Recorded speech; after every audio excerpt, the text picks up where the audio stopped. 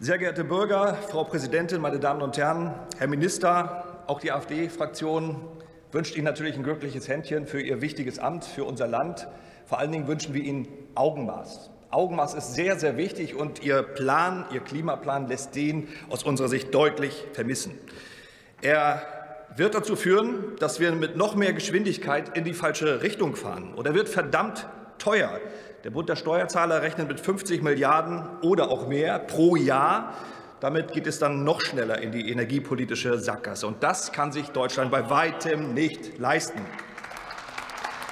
Klar, Windkraftindustrie und Solarhersteller werden sich natürlich freuen, aber für die Bürger und den Rest der Wirtschaft wird es eben noch mal teurer. Obwohl wir jetzt schon Rekordpreise haben bei Strom, Gas, Heizung, Sprit.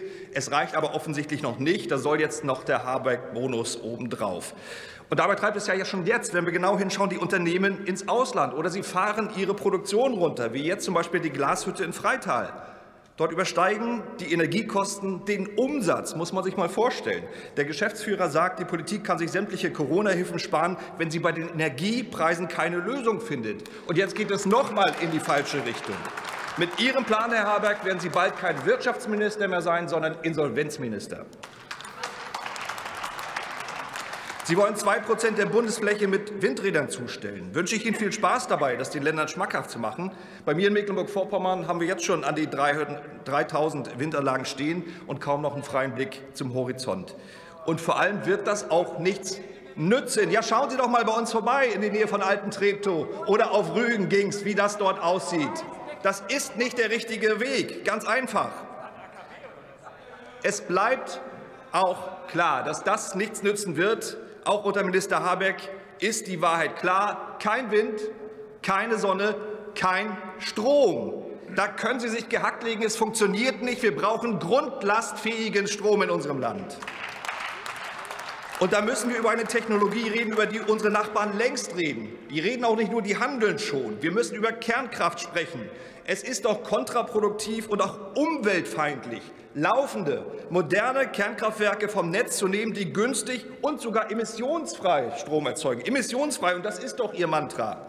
Wenn Sie also wirklich schnell CO2-Emissionen abbauen wollen, wenn Sie dazu eine sichere Energieversorgung und günstigen Strom haben wollen, dann schaffen Sie das nicht mit Ihrem Klimahirngespinst, sondern nur mit Kernkraftwerken. Legen Sie also endlich Ihre ideologischen Scheuklappen ab und gehen Sie den Weg, den andere längst gehen. Es ist der Weg der Vernunft. Und Ihr Plan macht die Deutschen auch arm. Die explodierenden Energiepreise sorgen dafür, dass viele weitere Produkte jetzt schon massiv verteuert werden. Wir spüren es alle in den Supermärkten. Die neue EZB-Direktorin Schnabel warnt bereits vor einer Verstetigung der Inflation, gerade auch durch die Klimapolitik. Und wenn dazu dann noch die Lohnpreisspirale in Gang kommt, dann wird es ungemütlich für uns alle. Also kehren Sie endlich um und hören Sie auf mit diesem Koste es, was es wolle Plan. Andere Aufgaben wären viel wichtiger. Und davon habe ich noch nichts gehört, Herr Minister. Was ist mit der dringenden notwendigen Entlassung, Entlastung von Steuern und Abgaben? Wann gibt es endlich eine Entbürokratisierung, die ihren Namen verdient? Wann eine bessere Infrastruktur und wie schnell vor allen Dingen? Ich hätte gerne gehört, was Sie dagegen tun wollen, dass sich Deutschlands Anteil an exportierten Hightech-Produkten seit 1990 halbiert hat, während Chinas Anteil von 1 auf 24 Prozent gestiegen ist. Unsere Marktanteile schwinden gerade in dem Bereich, der in Zukunft für unseren Wohlstand sorgen könnte. Und das kann nicht sein. Und ich hätte mir auch gewünscht, dass Sie den Mitarbeitern der Werften, die gerade pleite gegangen sind, in Mecklenburg-Vorpommern und in Bremerhaven heute etwas Hoffnung geben mit Ideen aus Ihrem Haus, wie wir die Werftstandorte erhalten können. Da braucht es eben auch einen intensiven Einsatz des Bundes an dieser Stelle. Das können die Länder nicht alleine schaffen.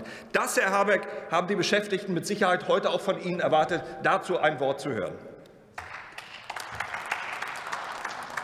Und wir brauchen dringend auch eine Perspektive für unsere Corona-gebeutelten Unternehmen im Land. Gerade die kleinen, die kleinen Einzelhändler, die Touristiker, die Gastronomen, die Kulturbetriebe.